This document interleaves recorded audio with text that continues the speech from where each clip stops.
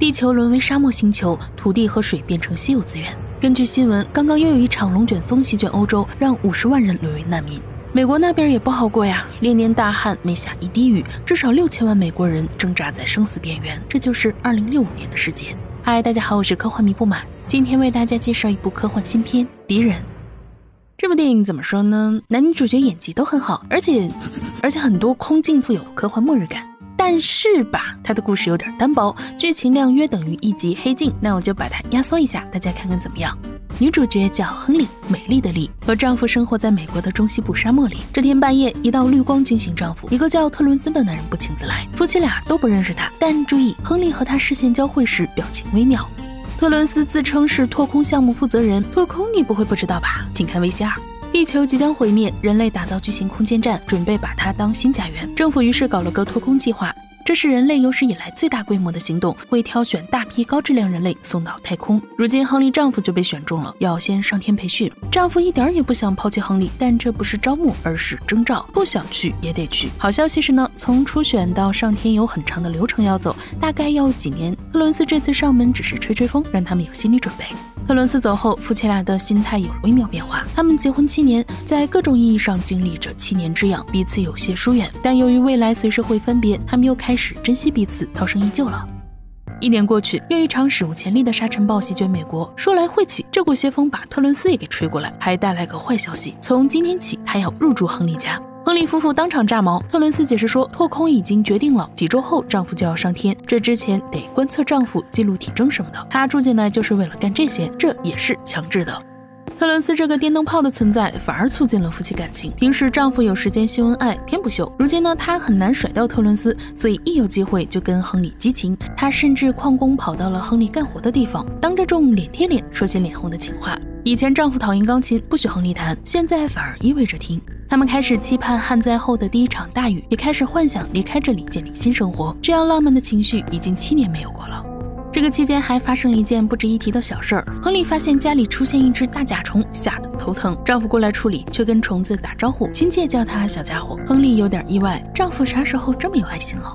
这天晚上，夫妻俩吃饭时，特伦斯又主动上桌分享个新消息：托空计划已明白，把丈夫送上天，把亨利留地球是棒打鸳鸯，所以他们有补偿计划，那就是想法替代丈夫。夫妻俩听到这儿又炸毛了。特伦斯笑笑，他不是要另找个男人插足，而是留下丈夫的复制品，让这个复制品陪伴亨利。这是最前沿科技，有人体组织、自我意识、身体和声音都跟丈夫一样。具体啥样呢？见过就知道了。特伦斯留在这儿就是为了记录丈夫的日常细节，这样做出复制品。才更逼真嘛！当然，这仍然是强制的。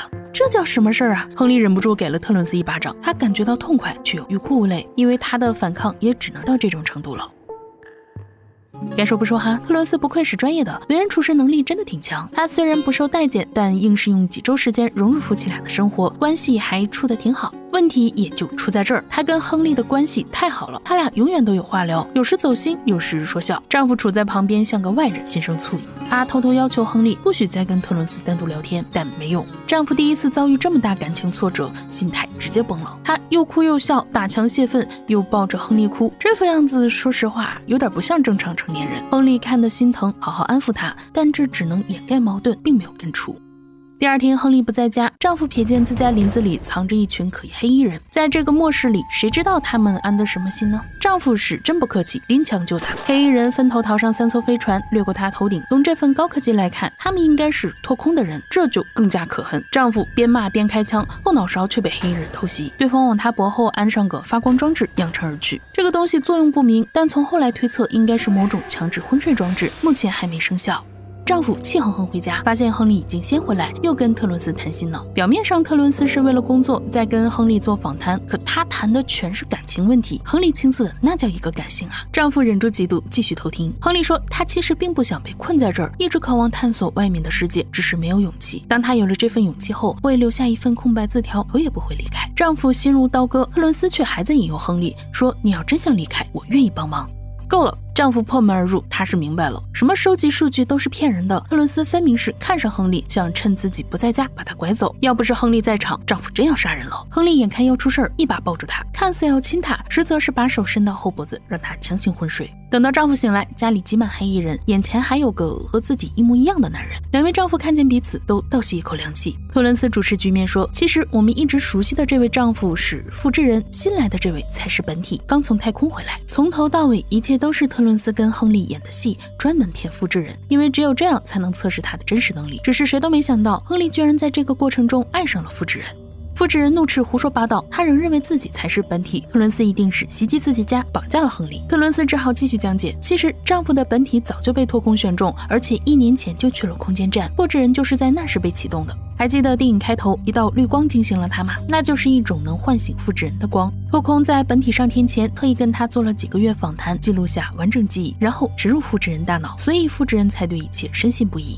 如今本体回家，复制人必须处理掉。他手脚都被绑住，还想着要保护亨利呢。亨利心疼如绞，用身体保护复制人，大骂脱空的人。这副动情的样子，让丈夫本体都很嫉妒。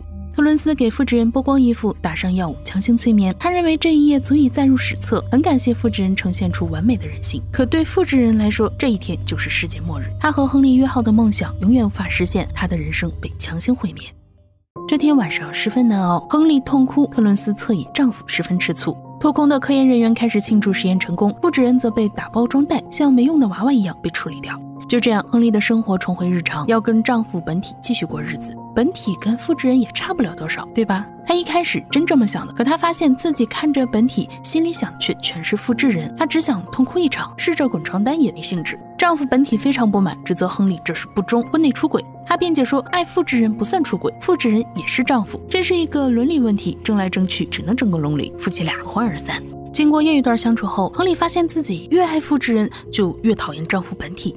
以前亨利和丈夫的感情之所以不和，是因为她追求自主，而丈夫本人却控制欲极强。前阵儿呢，复制人经过磨合，开始尊重亨利意愿，两人因此有了爱情。可丈夫本体呢，还是那个极端守旧的控制狂，令人窒息。他认为老屋是祖辈遗产，所以他要骄傲继承，永远住在这儿。他认为钢琴难听，所以把亨利的琴放在地下室，禁止再弹。持续多年的旱灾终于结束，天降大雨，亨利陷入狂喜，他却觉得亨利不成体统。过去七年，亨利一直在忍受这些，但现在不能了，因为他体验过与复制人的爱情，已经见过光明。他终于有了决裂的勇气，捣毁心爱的钢琴，并留下一封空白字条，头也不回。